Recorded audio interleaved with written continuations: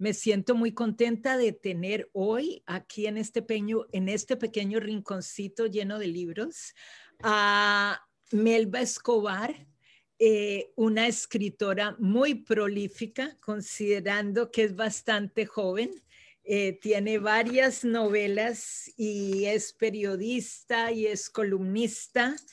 Y yo quisiera concentrarme en dos, en las dos últimas novelas, Melba, eh, que tú has escrito y te agradezco muchísimo por haber aceptado la invitación y estar aquí presente para hablar eh, de libros, básicamente de tus dos libros. Em, quisiera que habláramos sobre La mujer que hablaba sola, que tú la publicaste con Planeta en el 2019 antes de la pandemia. Me quiero concentrar mucho en eso, cómo el mundo se partió en dos a nivel del 2020. Esa fue la última novela que tú escribiste antes de la pandemia y después nos regalas esta, eh, yo llamaría una narrativa profundamente introspectiva, cuando éramos felices y no lo sabíamos, que es básicamente tu viaje a Venezuela y cómo tú eres testigo de lo que está pasando en ese país que es tan cercano a nuestro país.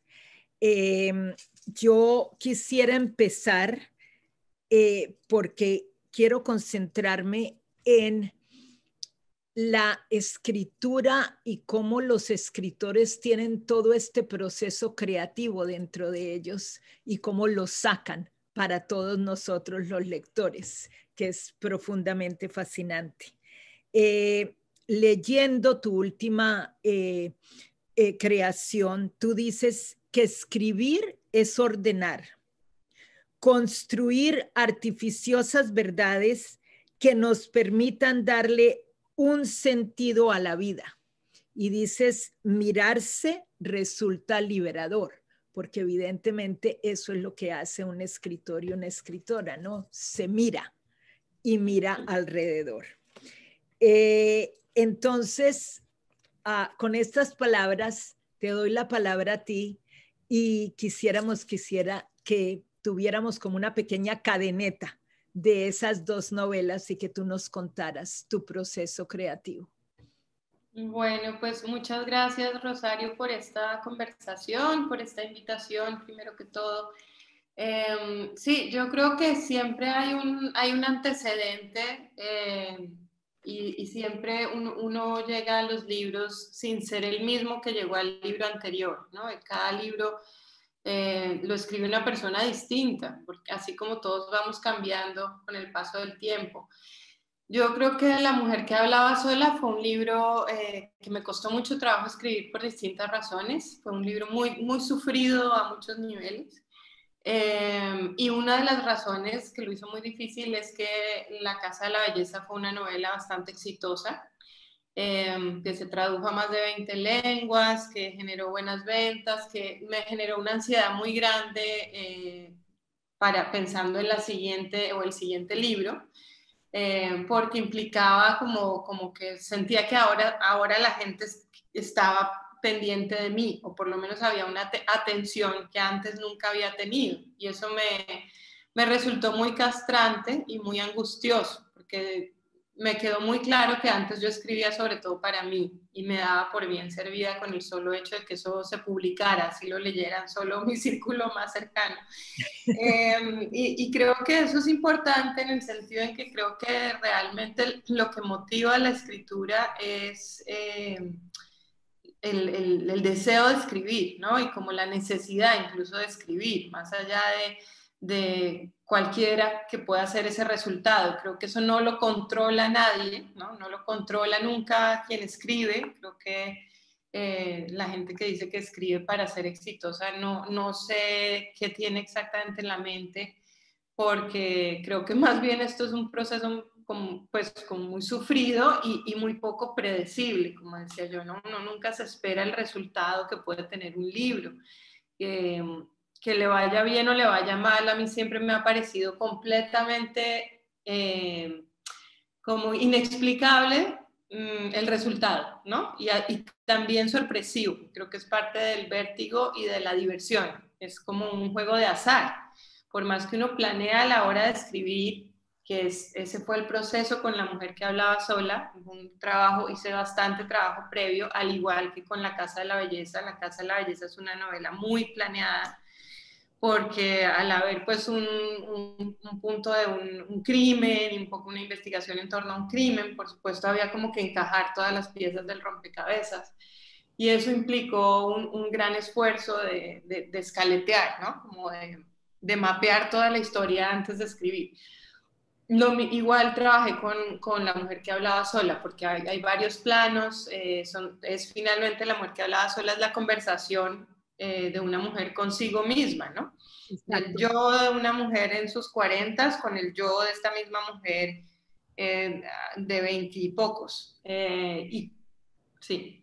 Perdona que te, que te interrumpa con esto, Melba. Una de las cosas entre paréntesis, para los, para los oyentes, para las personas que nos eh, están viendo, los dos libros son publicados por Planeta de Libros, La mujer que hablaba sola y eh, Cuando éramos felices y no lo sabíamos. Una de las cosas que a mí me llama la atención de tu creación literaria es que tú eh, evidentemente son narraciones incómodas. Estas no son unas novelas. Eh, hay mucha gente que siempre cuando yo oigo que dice, quiero leer para, para sentirme contenta. Eh, uno se siente, uno se puede sentir contento leyendo sin que esté leyendo algo feliz y encantado de la vida.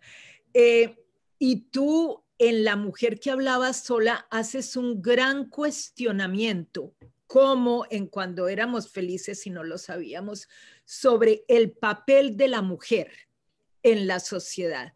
Y cuestionas muchísimo todos los roles que las mujeres se supone que tengamos o que hemos tenido siempre. Tú y yo somos de dos generaciones distintas, pero es bastante refrescante ver que en tu generación y en tus escritos te atreves, y digo yo la palabra atreverse porque aún todavía no se puede mucha gente atrever, mucha mujer, a cuestionar el rol de madre, a cuestionar el rol de esposa, a cuestionar el rol de mujer tradicional, y eso lo haces en las dos novelas. Entonces me gustaría que, que contaras un poco sobre eso, porque eso requiere una gran valentía.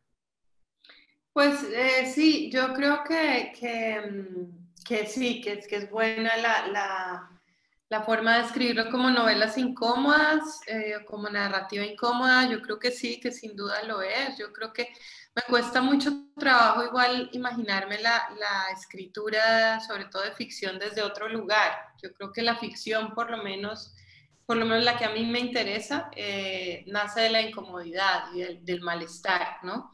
Eh, es, es, un motor, digamos. Mm, y, y, lo que creo es que pues eh, La mujer que hablaba sola tiene muchos pedazos de mi propia biografía, que la fui fundiendo con otras cosas de ficción, quizá era mi manera también de poder como desahogar muchas cosas, encubriéndolas también con partes de ficción.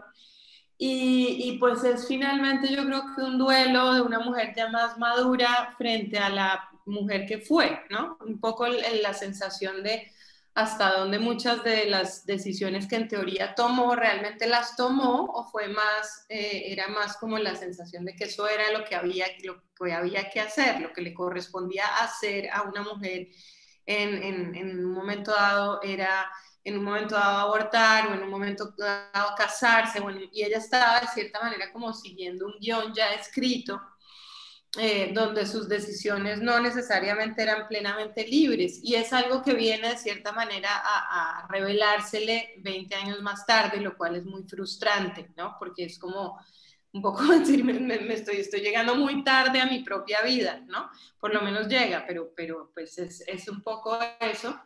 Eh, y es esta conversación de, de, este monólogo interior de esta mujer consigo misma a raíz pues de la de la incriminación de su hijo por haber puesto una bomba en un centro comercial. Em, y digamos que tiene también como ese detonante donde a mí em, me interesaba mucho reflexionar también como sobre la, pequeña violencia, digamos, o la violencia que se da en, en, una familia, en una casa, en una pareja. Aquí hay una violencia de pareja muy clara en esta historia.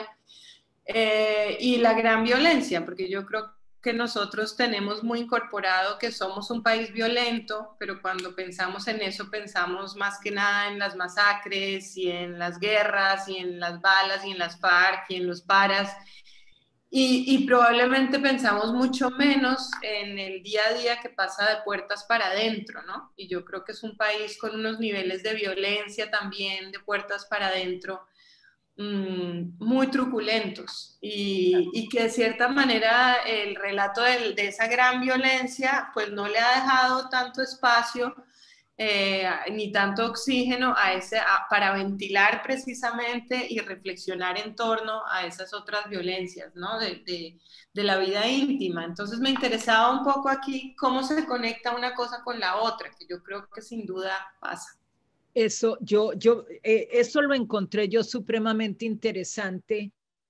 Eh, eh, Melba, yo me leí antes, lógico, La mujer que hablaba sola y después me leí cuando éramos felices y no lo sabíamos, pero no lo sabíamos.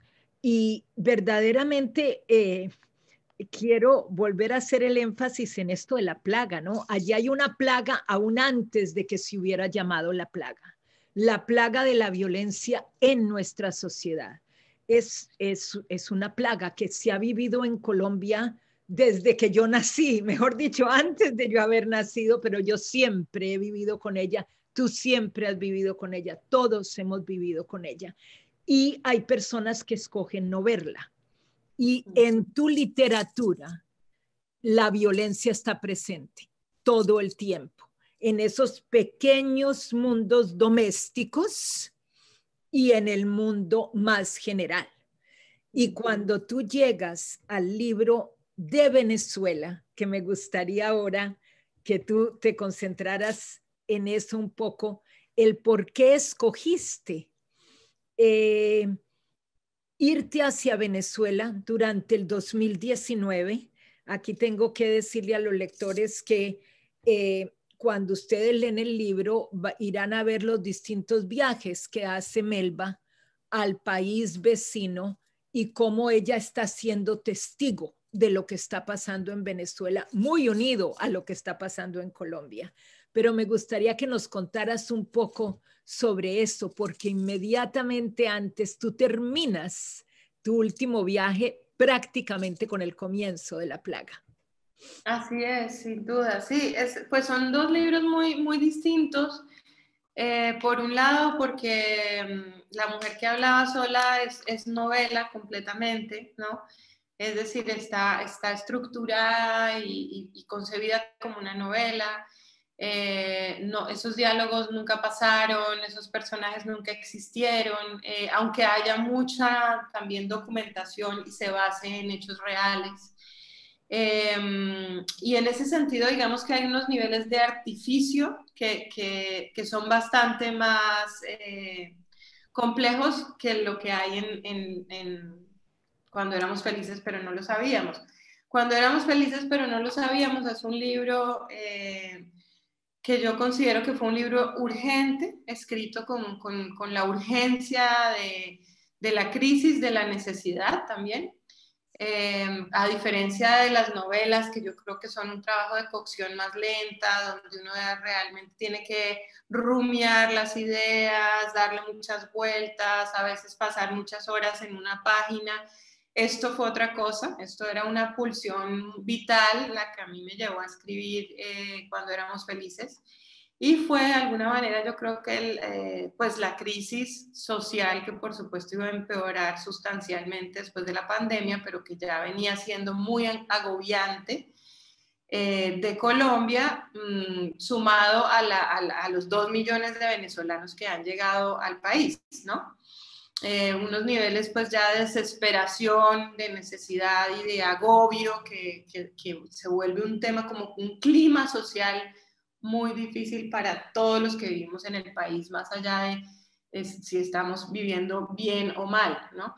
Eh, ese clima social a mí me parecía como se me empezó a volver una obsesión, ¿no? El tema de, no sé, ir al supermercado y, en una caminata de seis cuadras toparme con 12 familias diferentes en un estado de necesidad absoluta, eh, suplicando, llorando, pidiendo cualquier cosa, algo de comer, unos pañales, ¿no? Y, y pues como quizá esa sensación de que muchas veces uno da, no, no, tanto porque uno sea pues un alma caritativa, eh, sino también porque eso le trae a uno una paz inmediata. Es, también hay un egoísmo en ese dar, ¿no? Es un poco, yo, yo quiero sentir que este drama eh, no es tan trágico como me resulta, entonces prefiero darle mil pesos o un pan, un paquete de pan o, algo, lo que sea. Eh, pero esto ya, digamos, como que con el paso del tiempo uno siente que no, no, es, no sigue siendo un tema perturbador, ¿no? Eh, más la narrativa pues de, de, los venezolanos en los medios de comunicación, en fin, un poco esa sensación de, pues como de que se volvieron también, yo creo que se han ido volviendo el conejillo de indias de, de muchas de las tragedias del país, se les echa la culpa a ellos de todo.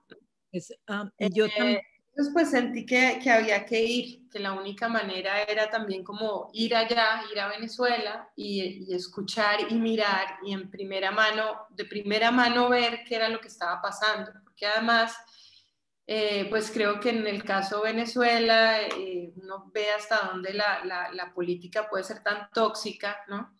Em, y acaba permeándolo todo, los medios de comunicación, el discurso oficial y, y, esa sensación de que uno realmente nunca llegaba a saber qué era lo que pasaba en Venezuela sin que le estuvieran echando un discurso político por debajo. Eh, o hablándole del castrochavismo, o hablándole de, en fin, una cantidad de cosas eh, que, que, acaba uno creándose primero las etiquetas, incluso antes de, de, poder acercarse desde el lado más humano, ¿no? más personal, a una realidad que finalmente es un país que fue el mismo país que nosotros, fuimos un solo país durante tanto tiempo. Entonces fue más como esa, esa curiosidad por el lado humano y como por descubrir eh, qué tan líquida es esa frontera que nos, que nos une y que nos divide, ¿no? Porque creo que también sobre eso habla el libro, sobre cómo construimos una identidad de nación eh, y cómo son dos países que siendo tan parecidos desde la política han sido completamente distintos y cómo se han marcado dos destinos muy, muy distintos en cuanto también a la manera de entender la sociedad, ¿no? Eh, yo también pienso que una de las cosas profundamente interesantes de este último libro, cuando éramos felices, pero no lo sabíamos, es que tú eh, asumes el rol. Esto no es un trabajo periodístico de narrativo, esto es un trabajo de tú como escritora siendo testigo de lo que sucede, es decir, y poniéndote en tu propia realidad dentro de esa realidad. O sea, es un trabajo muy, eh, con, con, gran introspección de, del artista, ¿no? Que, que, eres tú escribiendo esto. Entonces yo verdaderamente motivo a todas las personas que nos están oyendo para que vayan a las librerías y compren este libro que nos dirá mucho sobre nosotros y nos dirá mucho sobre las personas que viven tan cerca a nosotros, que son los venezolanos y una vez más, que, que como siempre sucede en, en muchos... Eh, em, en, en, muchas administraciones gubernamentales eh, son a las víctimas a las que se les echa la culpa de tantas cosas. Eh, em, desearía que pudiéramos seguir conversando muchísimo. Melba, te agradezco mucho este tiempo y que nos hayas podido contar sobre estos dos procesos y eh, espero poder tener eh, otra vez la oportunidad eh, de charlar contigo.